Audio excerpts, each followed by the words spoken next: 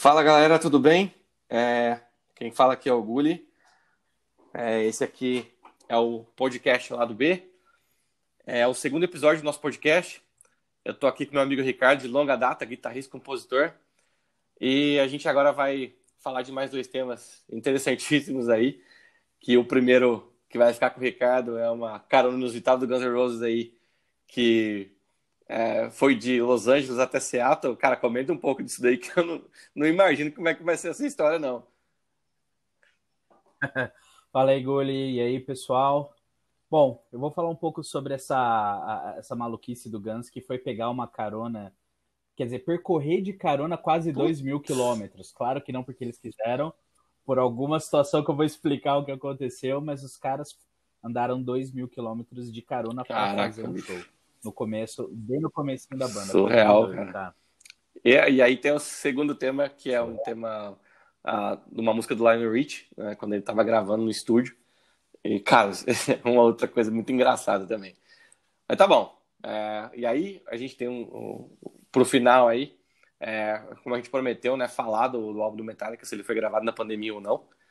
E aí nós temos o plágio do dia, que eu não vou falar agora não, vou deixar pro final aí, tá bom? Um comentário aí, Ricardo. Então tá bom. Bora. Vamos lá pra vinheta.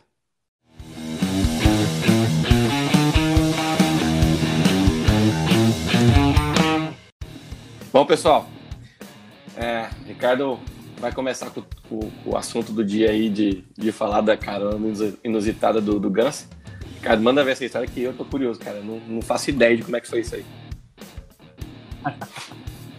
cara, eu tinha lido sobre essa história no livro do Slash alguns anos atrás, quando, quando eu tava lendo ele, e eu acabei. Um, num dos vídeos que eu tava olhando essa semana, eu voltei a ver essa história com o Duff comentando ah, em um dos podcasts que ele participou, contando das histórias do Guns e tal, porque, meu, na época que os caras começaram, pô, rock and roll era, era, era, um mundo totalmente diferente. Os caras se juntavam num apartamento em 10 nego pra dormir no chão, cinco no quarto e três no banheiro. Então, assim, era, era uma época muito doida do rock and roll que eu acho que já não existe mais, né? Pelo menos eu imagino, não sei como é que é a, essa cena do rock hoje, como tá isso. É, a gente imagina que as coisas sejam mais comportadas hoje em dia, né? É, até porque naquela época, pô, os caras andavam pela. Não, não tinha uh, internet, não tinha nada, os caras ficavam pela rua o, o, o dia inteiro e, e, eu acho que até por isso que, sei lá, não sei, talvez seja viagem minha, mas que tem a, a, criatividade dos caras tenha sido aflorada, mas por causa disso, os caras estavam na rua, estavam com gente o dia inteiro, conhecendo gente nova, conhecendo banda nova. Então eu acho que foi por isso que foi uma época muito, vamos dizer assim, a, a, a boa do rock and roll que surgiram tantas bandas boas nessa É verdade, verdade mesmo. E então, no comecinho da banda, quando eles fundaram a banda com Axel, Duff e Easy, Guns, eles, eles não estavam ainda com o Slash na guitarra e o Steven Adler na bateria. Então era o Axel, Duff, o Easy hum. e dois outros caras. Se eu não me engano, o nome dos caras era Robin e Trace. É, eu não sei dessa informação também. E, e o que, que acontece? O, o, o, Duff, o Duff ele é de Seattle. Ele nasceu em Seattle e ele foi para LA para tentar para continuar a, a, carreira de músico e tentar achar uma banda, gravar um disco e tal. Só que o Duff sempre foi ativo no mundo do hum. rock. Essa cena em Seattle era muito forte. Uh, tinham várias turnês que eles chamavam de turnê do punk na costa oeste, que era onde eles iam por cidades próximas ali de Seattle fazendo shows uh, uh, bem uhum. alternativos, né?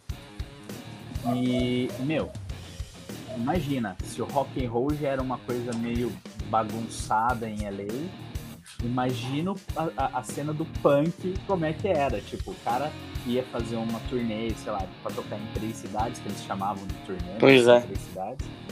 E, e, os caras não sabiam onde eles iam dormir, eles não sabiam onde eles iam comer, eles não sabiam de nada. Eles pegavam, enfiavam um instrumento numa vanzinha alugada e ia pro lugar, pro, pro, pra cidade, encontrava amigos de outras bandas e, e, e era daí pra frente.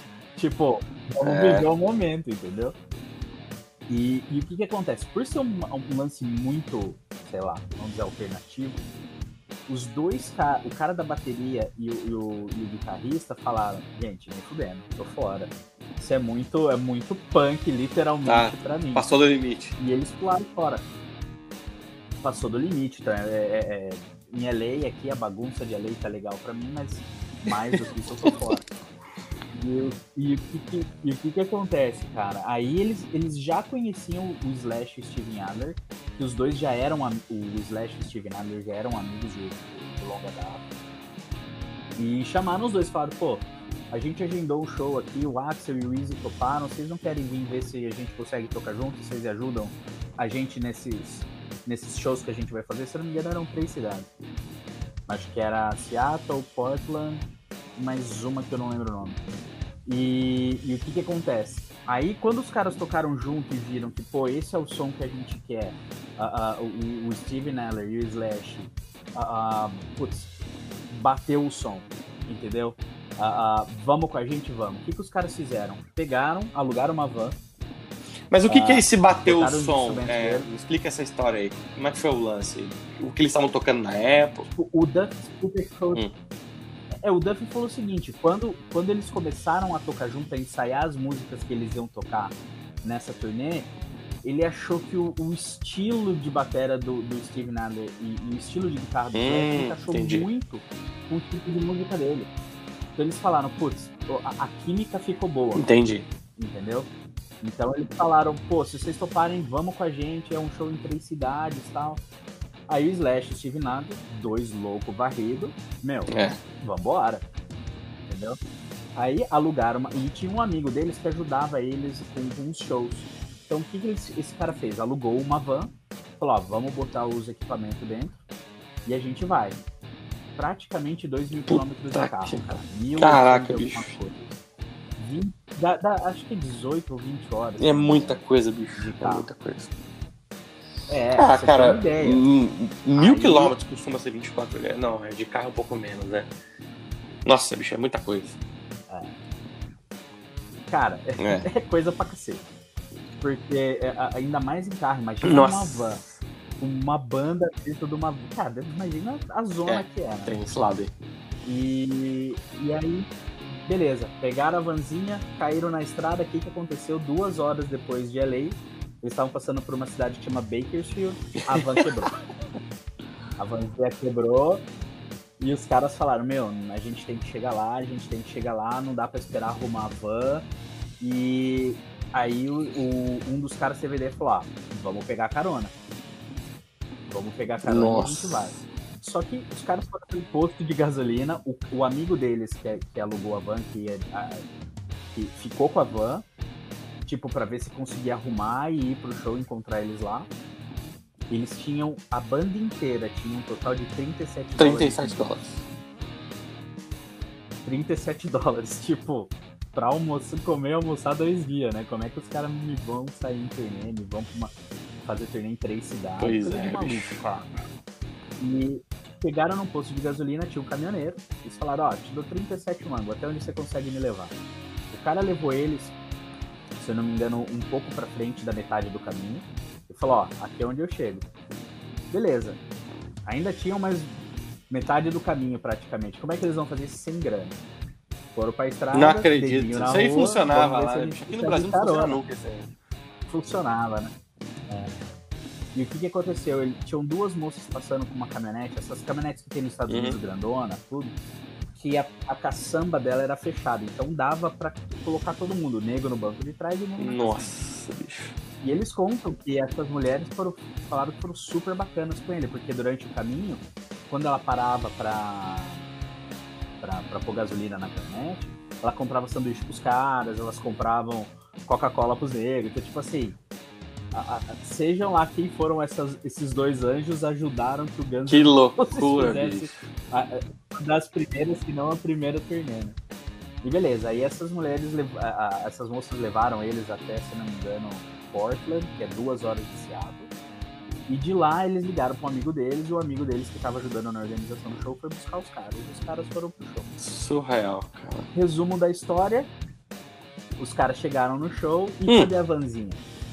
Não conseguiu arrumar a vanzinha. Cadê os instrumentos? Ah, Não instrumento. O que, eles fizeram? Chegaram pra uma banda, pra uns amigos dele e falaram: empresta aí pra gente tocar. E tocaram. Surreal. Os caras fizeram o show, eles nunca chegaram a fazer as outras duas cidades. Depois disso, eles voltaram pra LA.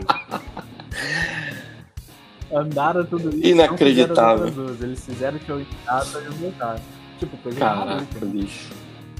E, e o Duff conta, o que é fantástico, que quando falaram pra ele do show, falaram, pô, é um show pra mais ou menos duas hum. mil pessoas.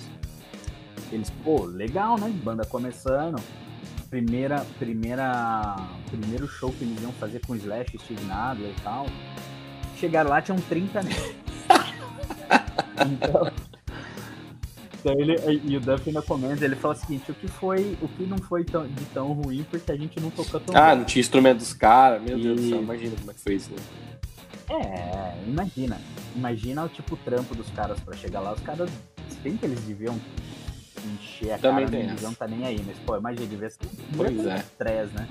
Se é que tinha estresse, não sei, né? Mas os, é, ele falou, ainda bem que só tinha mais ou menos umas 30 pessoas, não era o tamanho que eles falaram Caraca. Ele. E aí ele comenta que eles tocaram algumas músicas, que eles tocaram o Nice Boys, que é do primeiro disco deles, que na verdade é um cover do. Ah, eu sabia disso aí, ó. Eles tocaram Heartbreak Hotel do.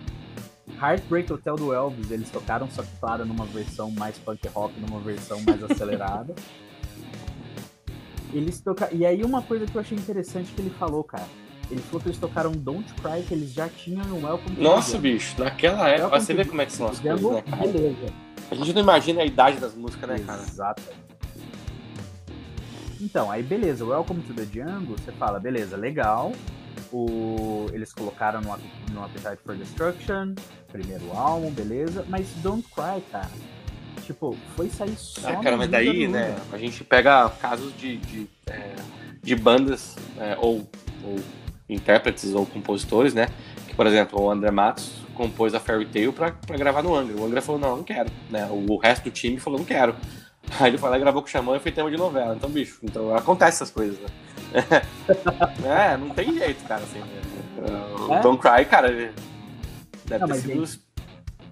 Não, e o interessante é o seguinte, em pouco tempo de, de banda junto, eles já tinham uma, uma, uma quantidade é, absurda. É. Assim, digo de, de qualidade, sabe? Assim, de, de música que você fala, pô, são grandes hits, né? E então, assim, pô, toda essa história, você fala, cara, os negros, olha o que os caras faziam pra ir tocar num show. Tipo, dois mil quilômetros, cara, e daí? Ah, cara, mas quando, quando você tá nessa vibe, né, numa idade específica, que você não, não tem família, não tem nada, você fala, bicho, é isso que eu quero e eu vou atrás, sabe? Tem mais é que fazer isso aí, tá aí, né? Tá, a prova é, tá aí. Você deve, com certeza, se a gente for analisar as outras histórias de outras bandas, não deve ter coisa muito diferente disso. Deve ter um monte de maluco querendo fazer o negócio acontecer e fizeram, né? A verdade é essa. É. Sim, sim. E, e assim, não, é, é, o cara tem foco. Ele, ele não tem um plano B na vida dele. Ele fala o seguinte: o meu plano é ter uma banda e fazer sucesso. É, caras foram lá e. E, então toda essa história é muito legal, mas, cara, teve uma parte da entrevista que eu falei, eu vou ter que comentar isso, cara, porque eu, eu não sei, ou eu sou muito chato, ou o, o cara não se preparou para fazer Como assim? Ele, ele me pergunta, ele perguntou pro Duff, ele falou, ah, beleza, Don't Cry não tava no, no Appetite for Destruction, mas tava o Sweet Iron Mind, uh, talvez uma quis subir, ele uh, quis usar uma agora, uma depois, até aí eu achei legal. Aí ele me virou e falou assim: Ah, o Out of Mine na verdade é um remake da Sheryl Crow. Né? Nossa senhora. Nossa senhora. Eu falei, cara, o Duff ele dá uma olhada pra cara dele e fala assim: Não, escreveu essa. Você tá de. Nossa. Então, porque eu vi o disco dela, eu achei que vocês tinham feito um remake. Não, cara, só pode estar de Que entrevistador é esse, cara? bicho? Pelo amor de Deus, cara. O que eu Mano, sei da história dessa é, música, é, e não sei se é verdade, me parece um boato, é que quem gravou o solo, né, o leak dessa música, né, que é o mais conhecido, aparentemente não foi o Slash. Mas eu não sei se da velocidade dessa, dessa informação, não, cara. No disco, né? Não, eu não. Eu não é, eu já escutei falar. e fui procurar e não achei, Mas, não. Mas, cara, você perguntar se é Ah, não, pelo amor de Deus. Tudo bem que o Gun soltou alguns covers durante nos discos deles, tipo o Live and Let Die, tem o Sim, sim. War. Ah, mas até a gente tá falando de Beatles e, e, e, qualquer outro, né? O Bob Dylan. Bob Dylan. Aí, cara, né? Estão fazendo pra. Eles não precisavam disso, eles fizeram porque eles gostam, é diferente, né? Não, mas, cara, eu falei, meu, eu vou ter que comentar isso no podcast, porque foi muito bizarro. O cara é, cara, é inacreditável, parece mentira, cara. Parece mentira. Parece mentira. Mas é isso aí. E foi essa a história tá certo. Tá certo. Tá bom. Vamos, vamos pra próxima história aí.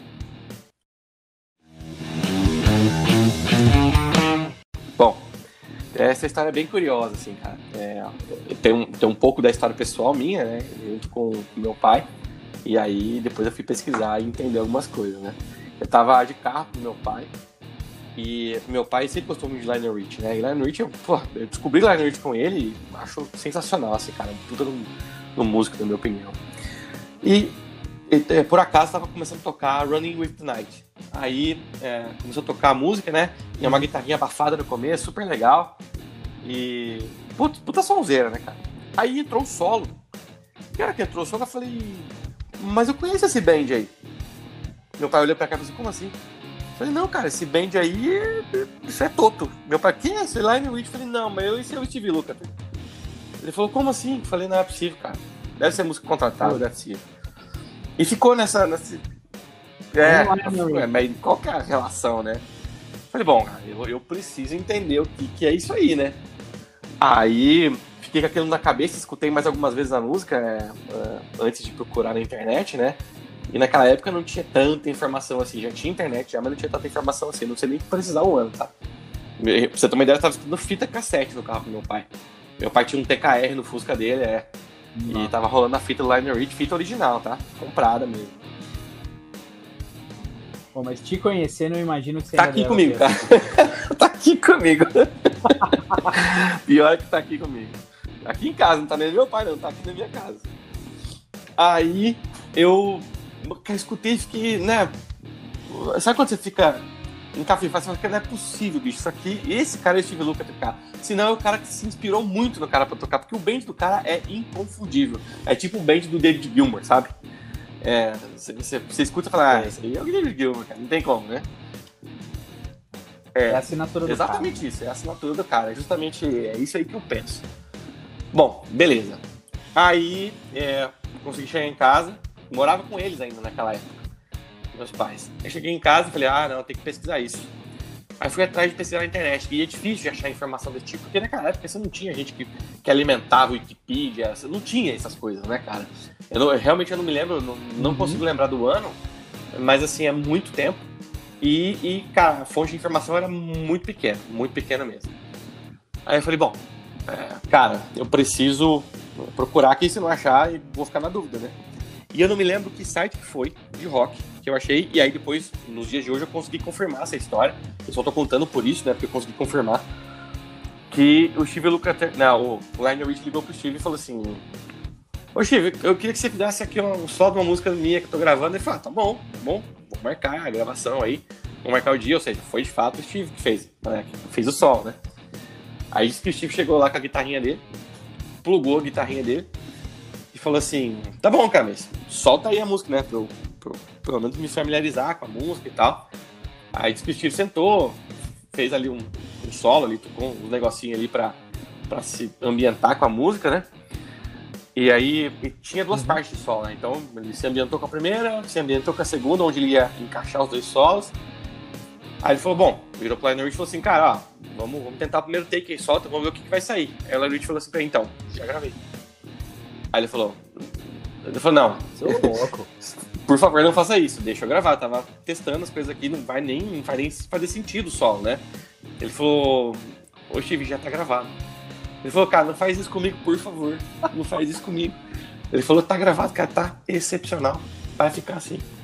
O solo da música do Running with the Night, do Lionel Rich, foi de primeira, sem o, Lionel, sem o Steve Luca ter conhecer a música na íntegra. Não, bicho, se você pega pra escutar a música, recomendo que vocês façam isso.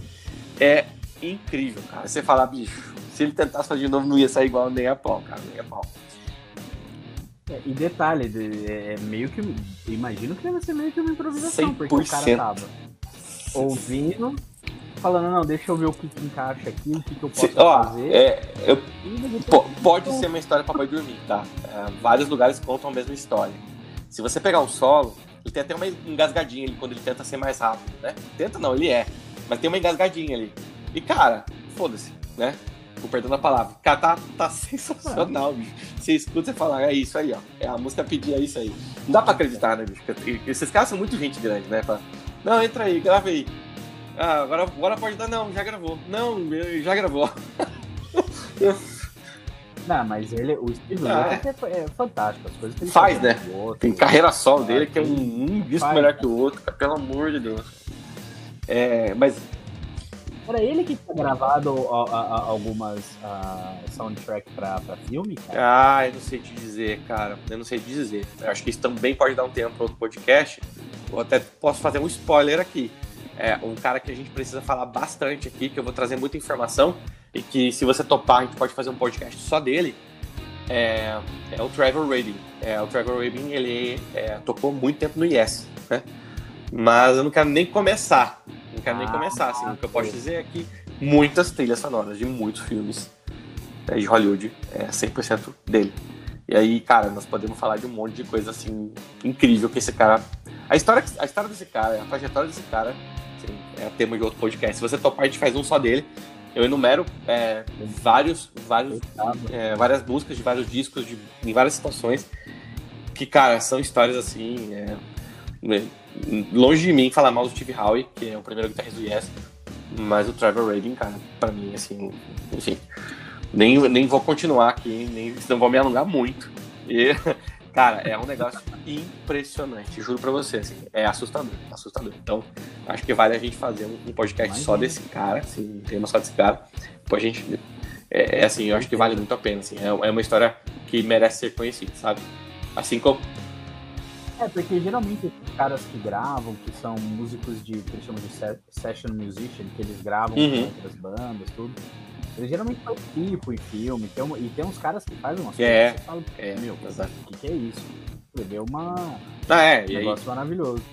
E, e, e deixa eu te perguntar uma coisa, cara, que eu, tô, que eu, fiquei, ah, que eu fiquei curioso com esse negócio que você falou do, ele Uhum. gravou tudo num take. Eu nunca gravei um álbum no estúdio, ah, então a minha curiosidade é, eu sempre, sempre eu vejo muito vídeo de, de pessoal Uhum. gravando guitarra, tudo e tal. Não me parece ser Por uma quê? coisa fácil. Como é que ah, ah, eu, digo, eu digo assim, de, de sair na primeira, de você acertar exatamente o que você quer. Geralmente eu vejo que o pessoal tem muita edição. ah, ah, quão complicado é pra sair isso de uma vez do jeito que saiu nesse Cara, hum, é, nada complexo, mas daí tem um outro cenário, né? É, O que a gente tem que pensar? Primeiro, ah, e aí sem desculpas, tá? É, O cara vivia disso, vive disso, né? Então ele respira isso, certo? Na época que eu comecei a tocar, e você também, a gente tinha tempo para estudar 8 horas, 12 horas por dia, né? Que é o que ele deve ter feito no começo e faz sempre. Então, quando você é, está muito tempo dentro de um estúdio gravando vários takes de várias músicas, é, suas ou de outras pessoas, você come... a coisa não, não te dá mais aquele medo, aquele frio na barriga de falar assim, cara, agora tem que acertar, senão vou ter que gravar de novo. Porque assim, o que acontece, cara? É, muitas vezes, quando você está num estúdio para gravar, você tem. O primeiro, o primeiro pensamento que passa na sua cabeça é: se eu errar, eu vou pagar mais. Por quê? Você não tem muito dinheiro. Né? Então, isso. Então, não isso tá contra você. Se você tem algo contra você, você vai ficar nervoso e não vai gravar. Ou vai gravar errado, né? Então, esses caras não tinham horas contadas. Uhum. Geralmente esses caras chegavam lá e falavam, bicho, senta aí, testa, faz o take, vê como é que é. Então eu não tenho preocupação na minha cabeça. Eu não tenho que pagar por algo, entende? É. Então o cenário é outro, cara. O cenário é completamente diferente. Hoje, você sabe das coisas que eu gravo aqui em casa, cara? Eu não tenho preocupação com hora que vai ficar ruim, se, se ficar ruim eu vou pagar mais. Não, então é muito mais tranquilo, né? Mas já tive, já passei por isso, de, de, de ter que gravar uma live, cara. É, tem um estúdio aqui em Campinas que é, cara, assim, de grandes amigos meus, que é o Síncopa, é, é, um, é um estúdio diamante, né? O que é um estúdio diamante? É um estúdio que, que você tem é, uma sala para cada instrumento. Então você tem uma sala para bateria, uma sala para guitarra, uma para o baixo e uma para o vocal. E o teclado pode gravar em linha na sala master mesmo. Então, assim, é, ninguém, ninguém, um som de um instrumento interfere no outro, né, a linha do vocal, e dá para gravar ao mesmo tempo. A gente chama de gravação live, a gente faz uma live. Então, toca lá o metrônomo, né, um, dois, três e senta a bota. E, e, aí você pode fazer um ao vivo né, com instrumentos separados, canais separados, né? Mas mesmo assim o tempo está contando. Então se você está pagando esse tempo, cara, a possibilidade de, de você errar é muito maior do que se você estivesse tranquilo, entendeu? Ah, eu tomei uma cerveja aqui, vou gravar uma música ali. Você tá tranquilo e você não erra. Agora você tá com o tempo contra você e, e o dinheiro que vai ficar mais, é, mais caro, né? O dinheiro que vai ter que ser é, maior ali, cara, aí você vai, a probabilidade de errar é muito maior, entendeu?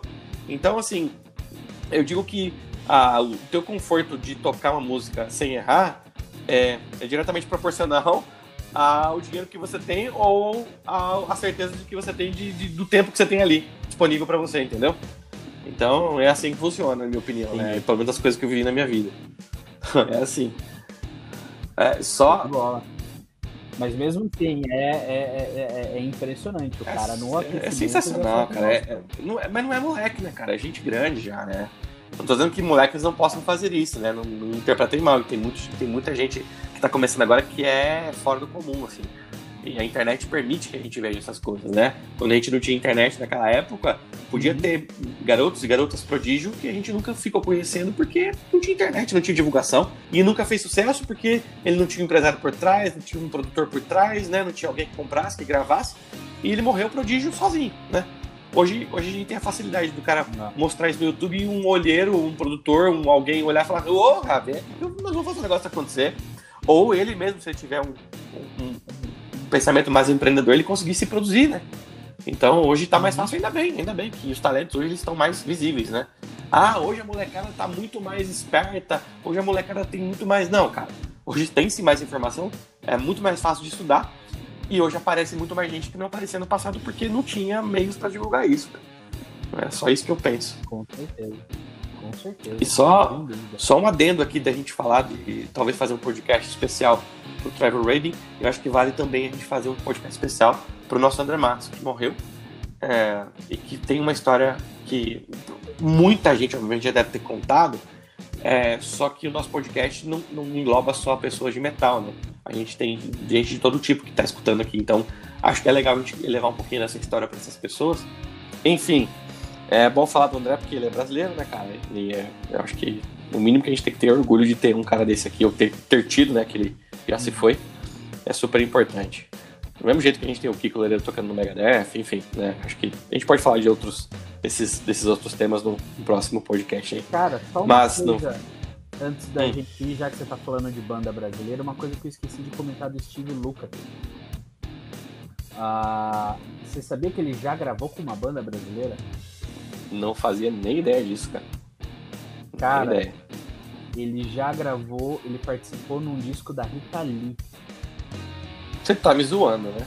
A Rita Lee gravou em, se eu não me engano, em 83, um álbum em, em Los Angeles que teve a participação do baixista do Toto, o Mike Porcaro.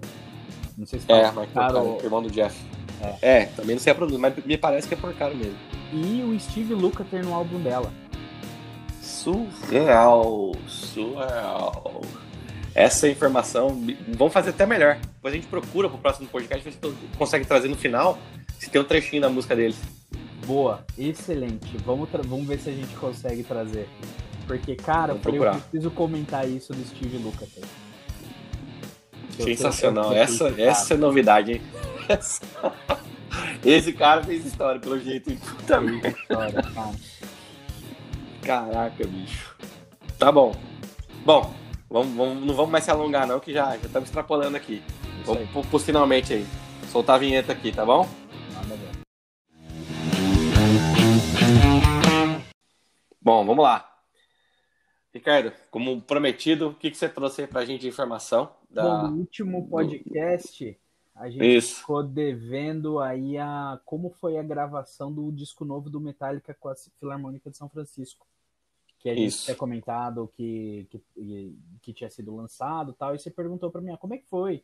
Isso foi durante Exato. o vídeo, não foi tal? Então, na verdade foi em 2019. A, a gravação o, o compilado do vídeo e do disco ao vivo, ele é uma gravação dos dias dos shows do dia 6 e 8 de setembro de, de 2019. Então, a, a, a ah, então foi bem antes. Pré-Covid.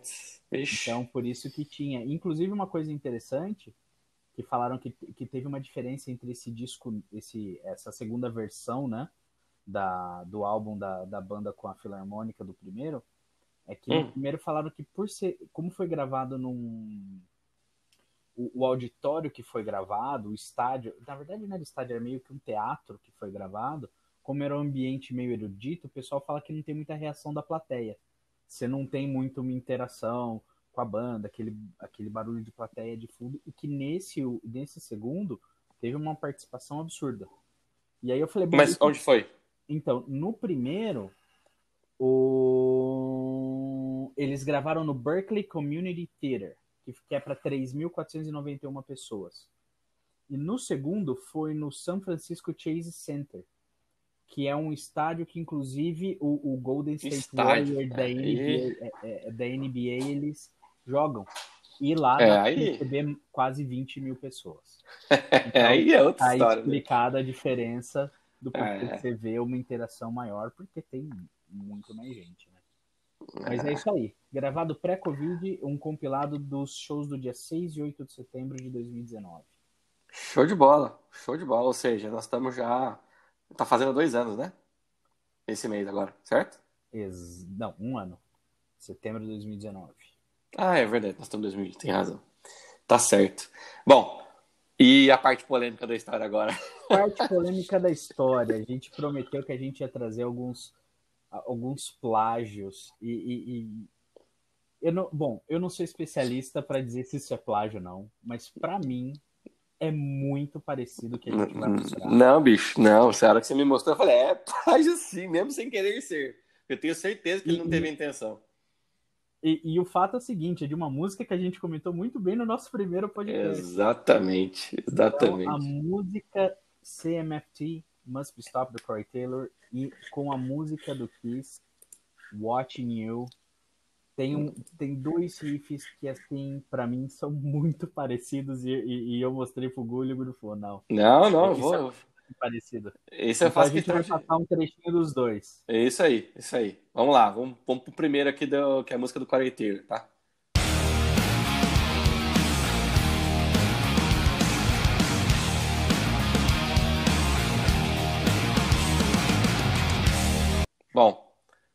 Trechinho da música, que é um riff, e quando eu escutei a primeira vez separado, eu falei, hum, não me lembro, não me lembro, o Ricardo falou, então escuta do Kiss.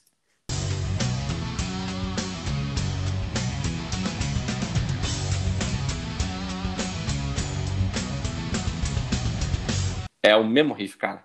O mesmo riff. Tonalidades é diferentes, o andamento muito próximo também. Mas é, não tem como negar, é o mesmo riff, cara. Então, então tá aí, né? Tirem suas próprias conclusões, mas é muito parecido. Não estamos aqui para criar casa. É. Exatamente. Não que seja mas... algo do tipo, mas é parecido. É pra caramba, bicho, pra caramba. Bom, acho que Acho que cobrimos hoje aí um, duas curiosidades bem, bem, é, como é que eu posso dizer assim, atípicas, né? Porque, cara, ninguém acho que imagina esse lance da carona do, do Guns aí, porque só quem lê o livro mesmo, né? É, e quem é muito mais interessado. E por acaso eu acabei descobrindo também, né, o lance lá do, do Steve Lukather na música do, do Lionel Rich, mas daí porque talvez eu tenha um ouvido um pouco mais aguçado por, por ser guitarrista, e aí aquilo não conseguiu fugir, né? É, Mas os, os, os, plágios, é interessante a gente falar de plágio porque a gente tem gente muito bem intencionada que faz, de novo, né? Não acredito jamais que o Corey Taylor tenha feito de propósito. E se fez, no máximo foi uma homenagem, porque esse cara tem extrema capacidade e talento para fazer músicas inéditas e, assim, eu, eu, eu, passaria a noite aqui elogiando o cara porque ele tem competência, assim, de, de sobra, né? Então, de verdade, ou ele tem influência e veio sem querer, aconteceu sem querer, como muitas vezes acontece, ou ele fez uma homenagem e tá tudo bem, né? Eu acho que nesse tipo de coisa não, não vejo problemática, não. É, mas confesso que eu vou trazer alguns aqui que realmente você escuta e fala, não é possível, cara, não é possível que não vai acabar, é tudo igual. Então, eu, eu... é polêmico pra cacete. Bom, galera, é, a gente queria agradecer aqui a presença de vocês. Vocês percebem que a gente não fala nem bom dia, nem boa tarde, nem boa noite, porque não tem hora para escutar. Então é sempre tudo bem, como é que estão as coisas. E obrigado pela audiência, tá? É, eu queria aqui, é, antes da gente terminar, fazer um anúncio de uma loja de um grande amigo meu, é uma loja de Curitiba, tá? Obviamente não é só lá, dá para você comprar online pelo Instagram, eu acho que pelo site também. É, o Instagram é Gear Club, se eu não me engano o site é gearclub.com.br, é uma loja de instrumento uma pessoa que eu confio muito, que eu recomendo bastante, tem muita coisa de qualidade lá. E é, ele sempre negociou é, coisas como um bazar, assim, né? Sempre fisicamente. E agora ele resolveu botar na internet e, cara, puta, só tem equipamento de qualidade e ele pega coisas que tem procedência. Então, gosto muito do, do que ele faz ali e recomendo fortemente, tá? Só pra vocês terem uma ideia, o Ricardo, na verdade, eu sou de Campinas, o Ricardo é de Itaiatuba e, e o meu amigo, que é o Thiago, é lá de Curitiba. Então, assim, é, não teria por que falar dele se não fosse bom, né? Tá bom? Ricardo, mais alguma observação aí? Não, acho que a gente já falou bastante por hoje. é isso aí. Tá bom, galera. Obrigado pela audiência. E no próximo podcast a gente tem a missão de tentar trazer pelo menos um trechinho da música da Rita Lee com o Steve Lucas, que essa foi extrema novidade para mim. Com o Steve e com o Mike, né, na verdade. E, e mais um plágio aí, que eu prometo que esse vai ser polêmico de verdade. Bem diferente do Quarentena. Boa. Aí. Tá bom? Então, galera, até o próximo e a gente se vê. Até. Valeu.